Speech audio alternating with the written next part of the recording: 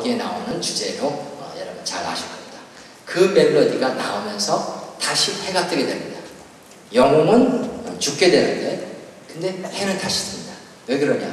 사람은 죽지만 혼은 다시 영원에 살 수 있는 새로운 삶을 맞이한다. 이런 얘기가 되겠죠. 그럼 이제 여러분 어, 이제 설명을 이제 하는 데 있어서 그럼 왜 전쟁을 치르냐? 전쟁이라는 것은 자기가 스스로 일으킬 수도 있습니다.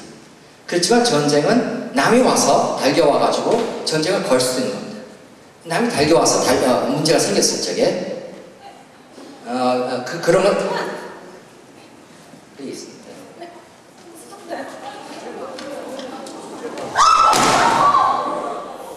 잠깐 해결해 드리겠습니다.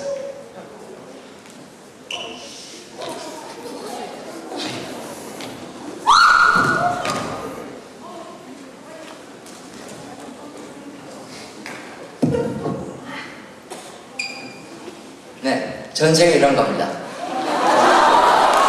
어, 기대 안 했을 때, 기대 안 했을 적에 적이 쳐들어올 수 있는 거거든요. 그럼 그것을 어떻게 막을 것인가?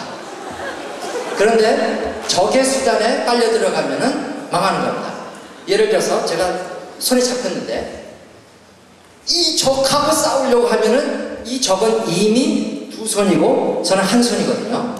이 사람의 이 적의 세계 휘말려 들어가면 절대로 이길 수가 없습니다. 그렇지만 여기서 제 세계를 만들면은 협조를 안 하거든요. 협조 안 하더라도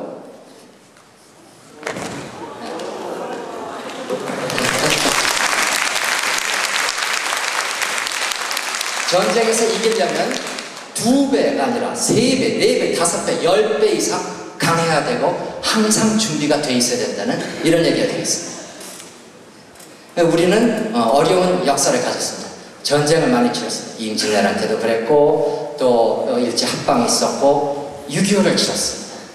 아, 이런 것을 통해서 우리는 무엇을 배워야 되냐? 항상 우리 스스로 준비를 해서 이겨나갈 수 있는 독립심을 키워야 된다는 예, 그런 게 되겠습니다. 자, 어, 여러분께 어, 무술을 보여드린 저의 친구인 이리스 라인바커 소개해드리겠습니다.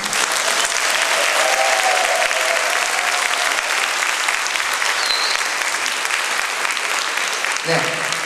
그럼 여러분께 이제 영웅을 소개해드리고 전쟁을 치르고 승리로 가는 영웅적 생애를 여러분께 소개해드리겠습니다. 감사합니다.